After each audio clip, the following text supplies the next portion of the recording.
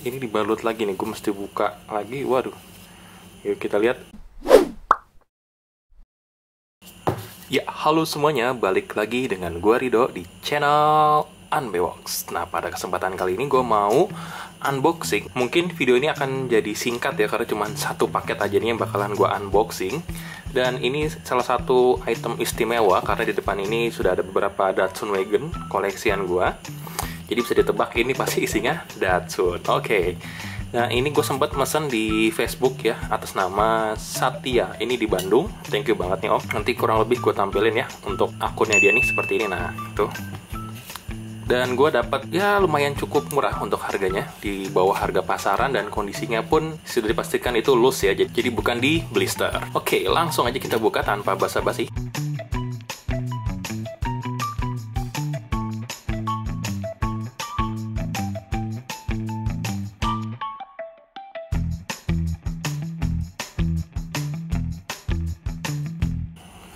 Ini dia. Sudah terbuka untuk isinya. Nah, ini kita lihat dan gua mendapatkan langsung satu set dengan akriliknya cuy. Nah, ini dia nih. Dan ini ditambahin bubble wrap gitu di akriliknya. Jadi keren nih. Oke, kita buka pelan-pelan ya, jangan sampai nanti merusak si ini ya.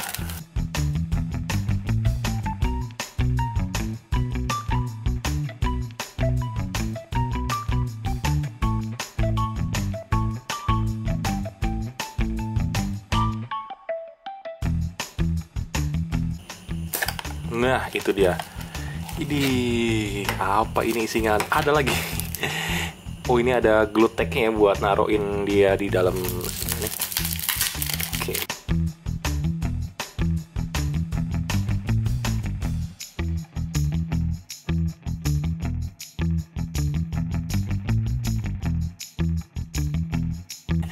Ini ada dibalut lagi dengan tisu ya jangan sampai ini dibalut lagi nih gue mesti buka lagi waduh Yuk kita lihat. Ini udah kelihatan ini warnanya. Ih, mantap. Ini ada Datsun Wagon yang seri Boulevard. Wih, keren. Mantap banget nih, cuy. Ini keren ya. Oke, wah mantap. Kita lihat dulu dari jauh nih.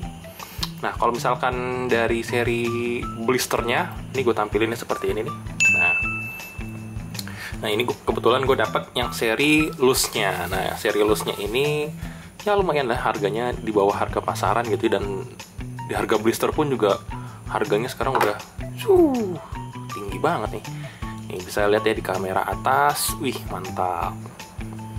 Ini dan ini kondisi dari uh, velg chrome-nya masih dikatakan cukup bagus ya karena penyakitnya untuk si Datsun Wagon ini katanya sering ngelupas untuk si velgnya Oke, langsung aja kita ke bagian sesi berikutnya itu untuk mengetahui detail-detail seperti apa. Oke, kita lihat lebih lebih dalam.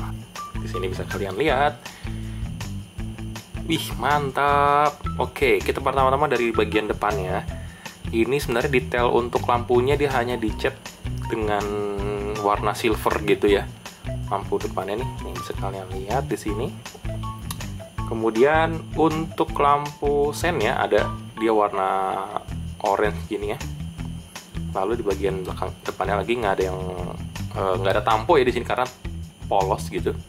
Kemudian untuk di bagian samping ini ada velg. Velgnya ini dia warnanya merah lalu ada listnya itu warna chrome cuy. Nah chrome-nya ini memang uh, sering banget ya yang ngelupas untuk kondisi-kondisinya. Jadi makanya banyak kolektor-kolektor tuh yang masih dalam blister jualnya karena ngoleksinya gitu. Karena kalau di loose banyak yang lupas cuy katanya gitu. Kenapa gue sempat bilang harga yang murah tadi? Nah ini pertama. Nah ini bisa kalian lihat nih. Aduh ini ada kayak bekas cat gitu ya. Cat lebih kita katanya sih dari pabrikannya. Nah ini ada warna abu-abu atau silver gini. Ya mudah-mudahan aja di menggunakan minyak kayu putih bisa hilang ya mudah-mudahan sih. Nah kemudian ada satu lagi tuh mana nih tadi. Nah ini dia nih. Warna silvernya ada juga di sini sedikit nggak apa-apa lah nggak masalah. Nanti gue coba akal-akalin pelan-pelan ya ngilanginnya siapa tahu bisa dengan menggunakan minyak kayu putih. Bagian belakangnya seperti ini. Nah itu bisa kalian lihat di sini ada tulisan Datsun lampu stop lampnya. Tuh ya, keren banget. Ini ada logo Hot Wheels kecil banget ini kayaknya kelihatan deh kemudian ini ada tempat bensinnya juga ada. Hmm, mantap. Ini salah satu inceran juga nih para kolektor karena dulu sempet di Indomaret itu di tahun 2014 atau 2017 gue lupa tuh 2014an ya. Ini sempat ada nih gantungan Indomaret cuy. Dan harganya itu di 100 ribuan lebih deh kalau digantungan ya waktu itu. Itu masih banyak cuy. Nah, ini sekarang harganya wah gila udah meningkat sampai 10 kali lipat lebih kali ya bisa jadi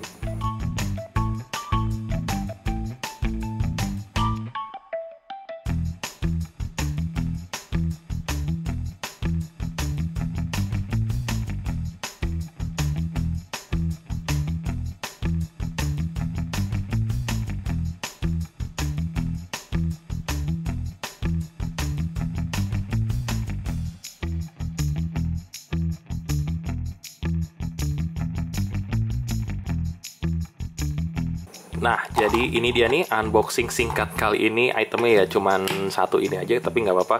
Keren banget, gue puas banget bisa dapetin dengan kondisi loose dan harganya tuh cukup terjangkau.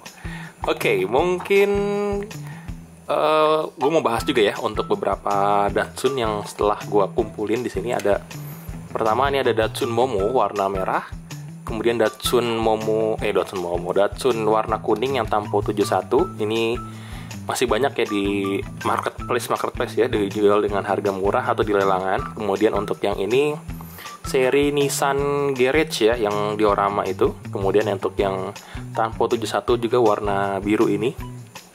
Kemudian ada seri Kmart. Nah, ini Kmart juga lumayan susah nih harganya nyarinya. Harganya juga cukup mahal nih sekarang. Kemudian ada Datsun Momo warna hitam. Datsun yang warna tampo 0 yang ini regulernya ya yang ada super tracer nya itu harganya selangit banget. Ini seri gift pack kemudian ada advent itu Japan historic ya yang warna hitam. Kemudian ini ada yang seri Zamak nah ini Zamak juga lumayan cukup rare ya di kalangan kolektor. Kemudian ada Satin and Chrome ini tahun 51 ya atau 50 gue lupa Nah yang ini sebenarnya Hot Wheels yang gue sempat di infoin di video gue sebelumnya. Ini ada Datsun uh, customan ala Anbe Works gitu. Polosan aja. Kemudian ini ada Datsun Mystery Mystery Box gitu ya. Datsun Mystery yang warna merahnya. Warna hijaunya gue belum punya sih nah ini ada juga yang Momo. Warna kuning ini yang seri Kroger ya. Ini Kroger kalau nggak salah. Ya Kroger Kroger itu kayak supermarket di luaran sana tuh. Kayak Kmart kayak Target gitu-gitu. Nah ini nah ini juga favorit gue juga nih. Nah ini cuy mantep banget. Ini seri Legend Tour. Nah ini Legend Tour bannya karet ini. Mantep banget ya ban karet kayak Super Treasure Hunt warnanya Specta Flame gitu. Di keren. Lalu yang terakhir yang tadi gua review ada si Datsun Vegan yang seri Boulevard. Ada empat lagi nih yang kosong, mungkin bakalan gue lengkapin. Untuk yang PR terakhir tuh emang super treasure ini gue nyarinya susah banget sih. Yang mudah-mudahan aja bisa nemu ya di harga yang murah gitu yang seri loose-nya. Jadi nanti bisa langsung gue taruh di garasi Datsun ini. Oke, oke mungkin sampai sini dulu ya video kali ini. Jangan lupa like, comment, dan subscribe di video Unbox. Ikutin terus video-video terbaru dari gue dan sampai jumpa di video berikutnya. Bye bye.